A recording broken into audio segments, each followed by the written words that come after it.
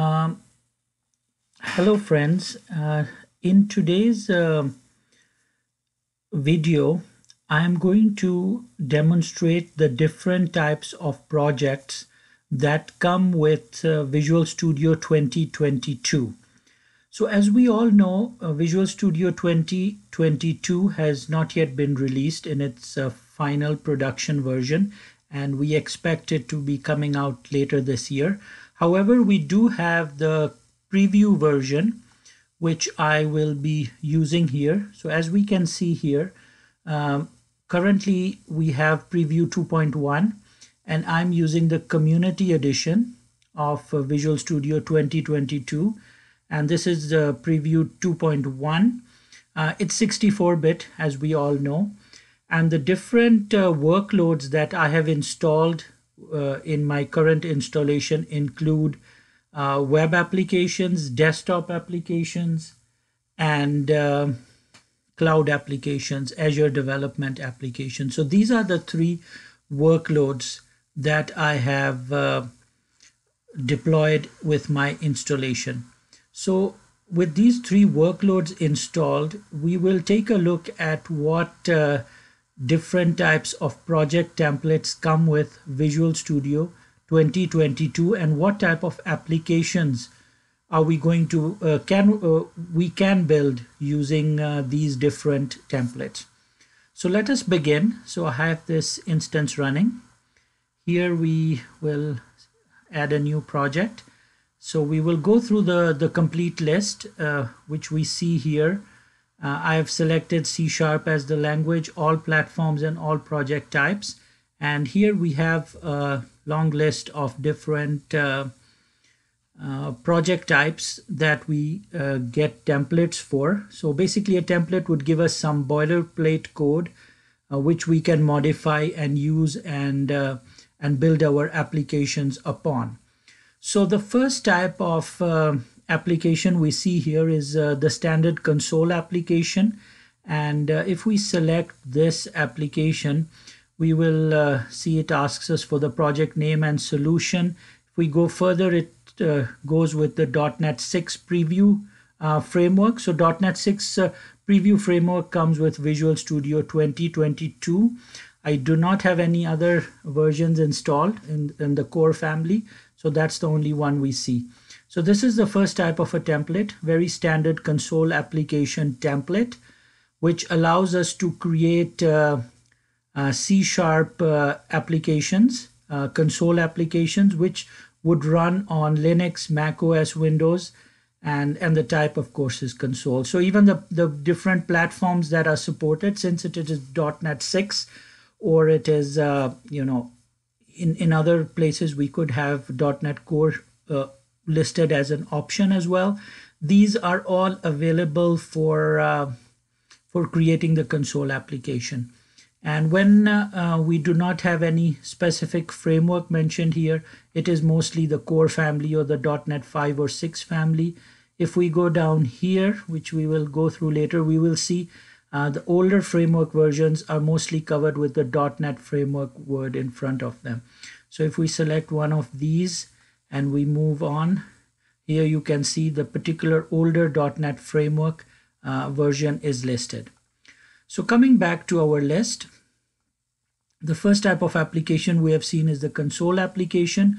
Moving on the second type of application is an ASP.NET Core web application and this will again create an ASP.NET uh, Core web app and uh, which is going to be based on Razor pages. So this is not the standard MVC, but it will be the, the architecture for Razor pages, where every page would sort of have its, uh, uh, its uh, I would say, controller, controller class associated with it.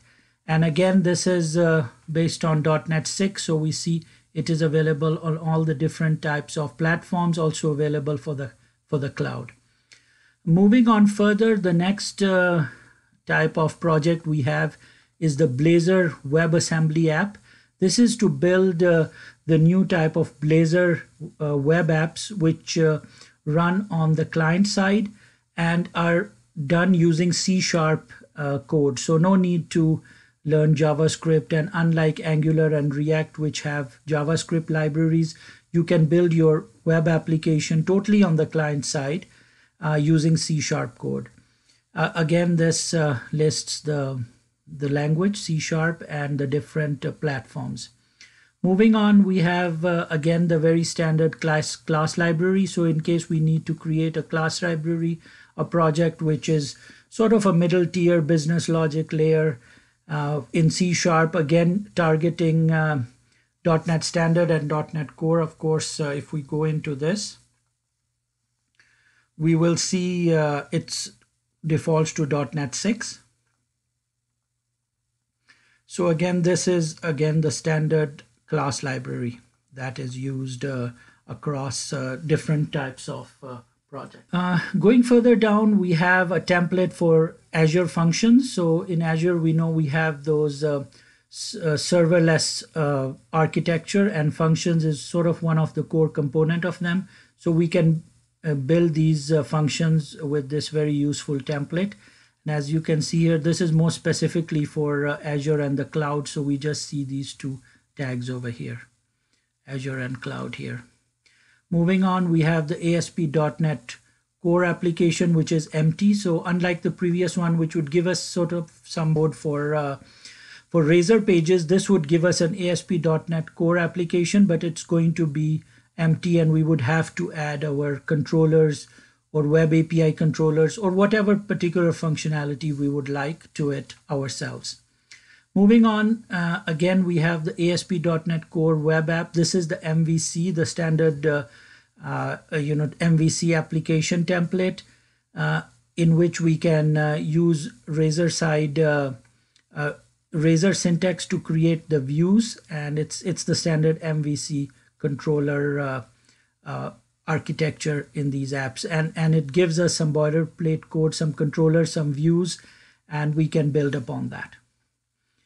Moving on, uh, we see we have the next uh, application, which is the Blazor server app. So this is again a Blazor implementation where the web app is built using C sharp code, no need for JavaScript. However, application is going to run the server within a ASP.NET Core application, and uh, it's going to be more server side. So unlike the previous uh, WebAssembly, which was uh, totally downloaded and run on the client. This sort of runs more on the server side. Moving on, uh, another very commonly used type of template, the ASP.NET Core Web API. So this is for building services, Web API services using the uh, the .NET Core or .NET 5 or 6 uh, uh, framework. And again, uh, this template would give you some boilerplate code. Uh, a cup um, i think it gives uh, one uh, controller and a service link to it and that sort of uh, helps you get started with building further apis as per your requirement. The next type is grpc so this is sort of a replacement for wcf and uh, this is for building um, the soa uh, type structure applications mostly business to business or where certain enhancements or something doing something beyond the standard web api more concrete business to business or uh, uh, more uh, robust and i would say services with more features. So this is sort of a, a next generation or a replacement for the previous wcf which we had in the standard moving on we have the worker service. This is a service which is uh, basically we can call it an enhancement over the standard console application which gives it a lifetime. It can be kept on a host and it is used uh, a lot in uh, web applications uh, sorry in cloud applications as well. As we can see here cloud is mentioned and if we want to do some uh, some some uh, housekeeping task or some process on on the cloud in the background we can create a worker service for this Again, these are all applications which are based on the new .NET Core or .NET 5 or 6 architect, uh, framework architecture. Moving on, we have uh, a template for ASP.NET Core with Angular. This gives us a very neat type of uh, boiler, boilerplate code structure in which the client side is built upon Angular um, and the and it has a controller, so a backend controller which is based upon ASP.NET Core, and, and a small working example in which uh, data is sort of uh, read from the Angular app and passed through a service uh, into the controller. So the front end is Angular, back end is C Sharp, uh, a C Sharp uh, Web API controller. So a neat uh, template over there. Similarly, the next one is, is exactly the same, um, but on the front end here we have React in case we want to add that type of application. And below that is again a React application with Redux also uh, included in the mix on the front end and uh, a standard ASP.NET Core web API controller on the back end. And so if we are going to use any of these three architectures to build our application, we can say that these are very good starting points. Moving on, uh, we see we have the MSTest test project. So if we want to create uh, unit tests based upon MSTest, this would give us the template. Uh, next one is NUnit test project, the one which I've used the most. So if we want to build NUnit tests, uh, again, we can uh, use this to create a project uh, for building NUnit tests. It sort of gives us the, the template, the starter point. And then we, we move on into the first uh, template, which is specifically for the older .NET framework. This is a Windows form forms application. So the standard Windows Forms application, which we built uh, in days gone by, if we want to build something like that, which we also called Win, we can use this particular template.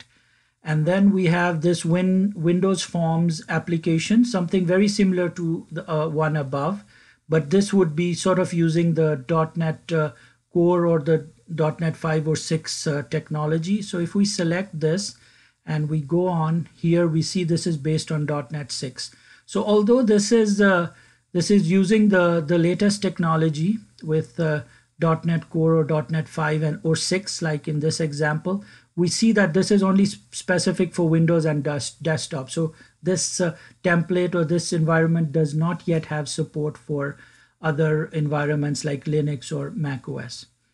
Then we have the WPF application. Again, this is based upon the .NET 6 uh, framework. The WPF class library, again, this is for building class libraries for our WPF solution and the WPF user control library. So if we want to build a user controls, uh, a library for our WPF applications, we can use this template. Going further down, this is the WPF application uh, with the old .NET framework. So if we select this, we see here we get the older framework version. And this again is also for now is limited. Uh, of course, this was always limited to Windows and desktop. Unlike, uh, well, similar to the, the one we saw before, the WPF application, which is based on .NET 6, but still limited to Windows and desktop. Moving on, we have the Service Fabric application. Uh, Service Fabric application is a scalable uh, microservices architecture, uh, which was introduced and is, uh, you know, part uh, can be found on the Microsoft Azure cloud, and it's used for building scalable distributed microservices. Uh, interesting architecture.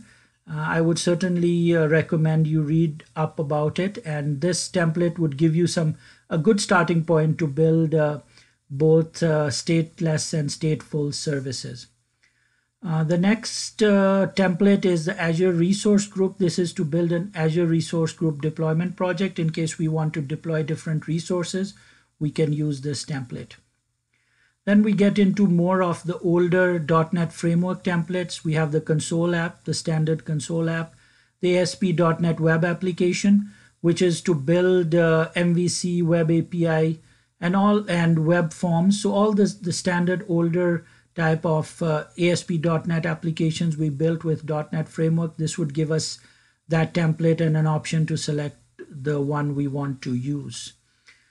Uh, then we have the class library for .NET Framework, pretty simple, the Azure Web Jobs. So this was web jobs which allowed us to build uh, jobs that would run in our Azure web apps, something again which was built in the past and sort of uh, is not uh, is, has not carried forward to the current uh, structure much. Then we have a unit test project with MSTest unit tests in the .NET framework. We have the X unit test project. This is uh, again a project which runs on the .NET Core or .NET 6 as in this case. Then we have uh, this uh, new project. I haven't really uh, done much work with this template, but it is something to build unit tests which would automate UI testing within the Edge browser. So it's it's more targeted toward the Edge browser. We have the .NET Core version and the older .NET Framework version. Something uh, to look into if you are uh, thinking about building automated uh, uh unit tests uh, which would test your UI in the Edge browser. Then we have the Windows service. We all have been building Windows services in the past and uh, build a new Windows service. Again, the old .NET framework gives us a very good uh, starting point for that. WPF browser application. So if we want to run our WPF application in the browser, we had this facility and uh, not sure if it's used much anymore, but again, it's on the older .NET framework, but we have a template for that as well if somebody wants to build uh, that type of project. WPF for custom control library, user control library, again, different types of controls building for WPF on the older .NET frameworks, 4.8 and prior to that. Uh, before .NET Core, we could, you know, we could say. And then the Windows Forms uh, control library, so building control libraries for the Windows Form architecture, again, the older .NET uh, framework. Uh, moving on, we have a shared project. If we want to build a shared project, we have an empty project in .NET Framework uh, to which we can add our classes and, and work accordingly. We have the Razor class library. This is for building a class library for our Razor app. And here you can see again, uh, it's uh, again, we are back with the .NET Core or .NET 6 family, and we see it is compatible on other platforms as well. We have the Windows Forms class library. This again is uh, for building different class libraries and the one below is building Windows Form control libraries. And these, although uh, are both targeted on .NET 6, but so far the whole uh, paradigm for WPF and Windows Forms application is more limited to Windows as we can see here. So this was a, a very quick overview of the different types of templates we get when we select the desktop, web, and Azure or cloud development workloads and the types of uh, boilerplate code that is available to us. So if we are building a project geared towards uh, these architectures, I would suggest we uh, always go through and first uh, get a good understanding of the templates.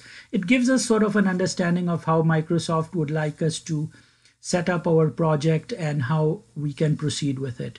So uh, that's all for the current video. And in future videos, we would certainly look at some of these project types in more detail. Thank you and uh, happy coding.